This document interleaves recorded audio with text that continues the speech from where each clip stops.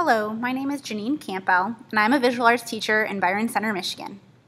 I've had the privilege to teach 7th and 8th grade students in an environment that offers students a wide range of learning opportunities both in and outside of the classroom. Using both traditional and digital means, I incorporate collaborative projects, field trips, and guests into my curriculum to celebrate and expand students' understanding of how art is made and why. One of my favorite ways of bringing outside learning in is through connecting and collaborating with others. Two years ago, I had the opportunity to attend the first ever TEDx Grand Rapids Livestream for Education event. This event was for teachers and students interested in sharing ideas, and luckily I met a teacher and we were able to do just that. Her name is Kim Westorp, and she's a teacher at our intermediate school district in Kent County. During the TEDx event, we exchanged information and decided to collaborate on a project where her students would select artwork from my students' online gallery on Artsonia to make new art from. The result was a collaboration that invited her students to reimagine the work done by mine and then share their work back to the group that originally created it. We had a display of the work at her school and then at mine, and an opportunity for students to discuss their process. My students had also an opportunity to react to the work that was created. Here's a video of the experience and some of my students' reactions. Here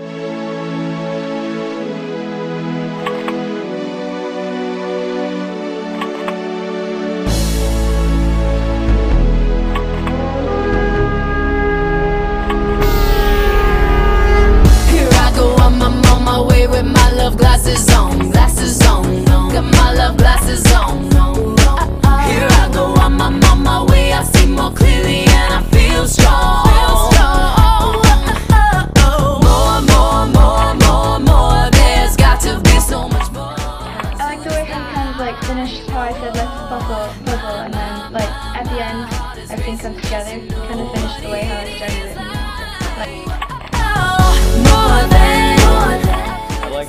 Fact that they took my little idea from birds and turned it into something way better. to believe amazing things are still happening. I'm gonna live the rich life.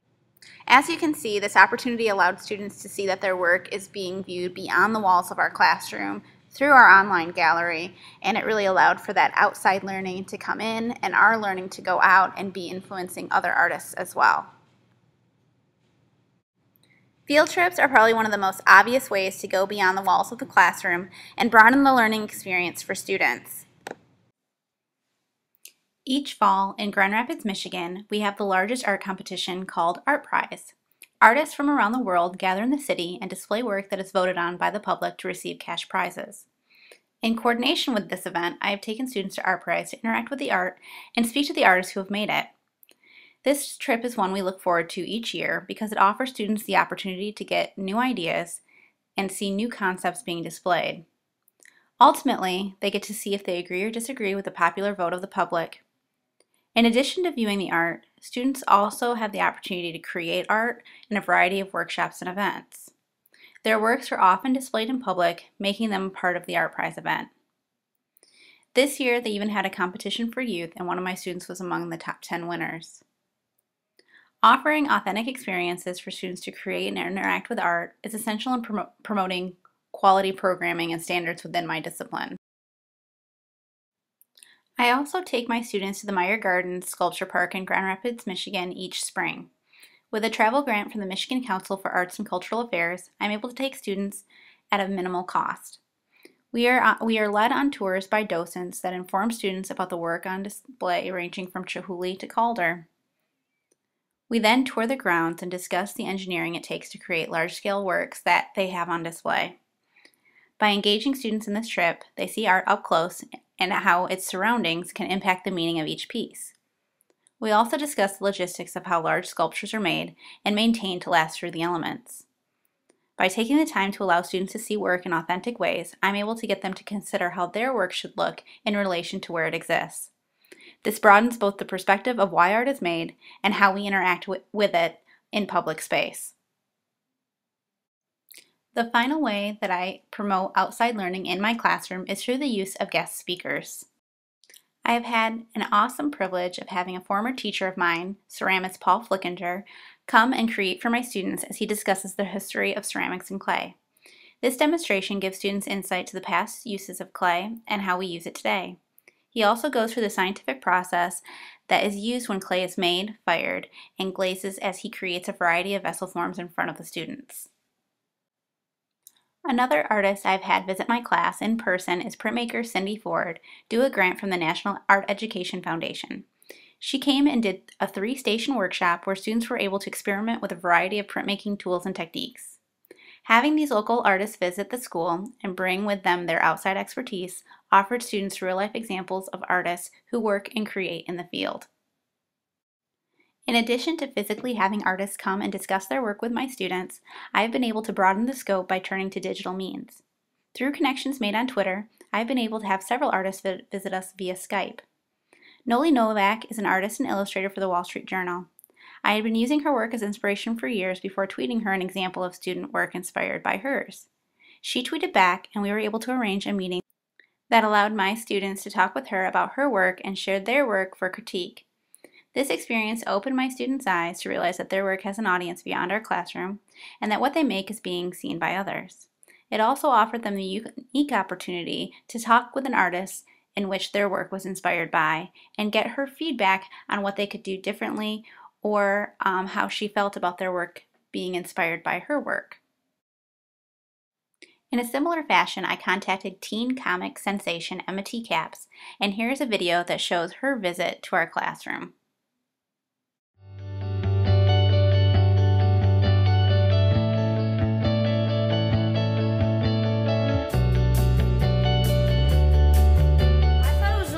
Getting to meet her and seeing like the process she makes the comics and the way she like she starts out with just a neat little sketch that she didn't really think was that good, but all of us look at it like it's really good.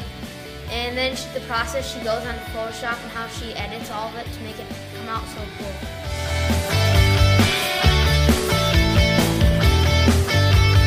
It's interesting how she had her sketches that she thought were really bad and we thought were good, and how she put them into Photoshop and it became even better.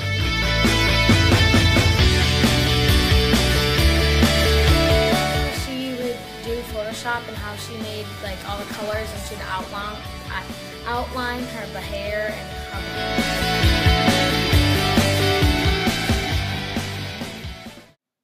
The most recent Skype type interview happened with Brandon Foy.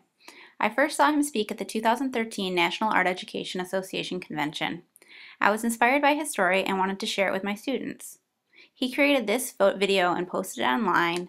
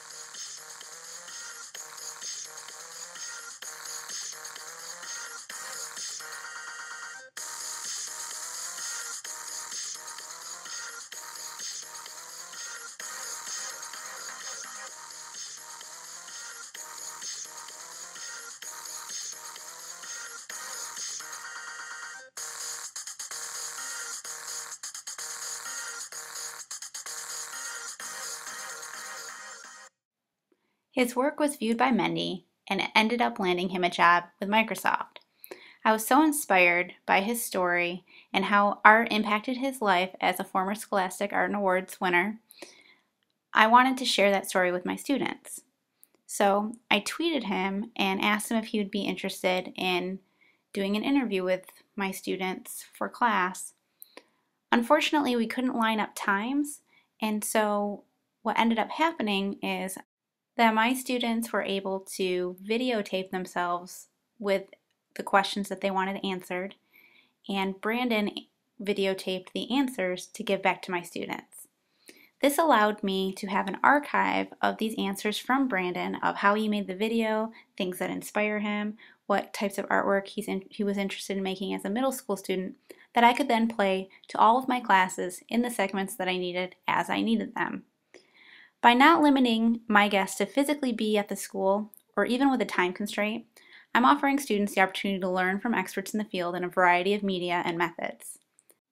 This has had a tremendous impact in my classroom because students are able to interact and ask questions that may have not been possible prior to the opportunity.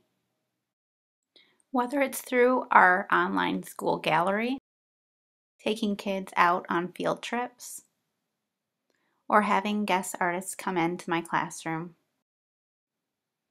I've seen my students' horizons broaden as a result of outside learning, both in the classroom and also being able to experience learning that we're doing in the classroom and the outside world. So consider that as you plan for the upcoming year and for years to come.